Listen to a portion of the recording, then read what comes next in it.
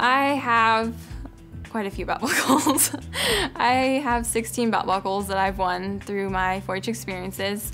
4-H is probably the most important thing that um, has happened in my life and it's taught me so many different lessons and what do you want to be when you grow up and what do you want to do.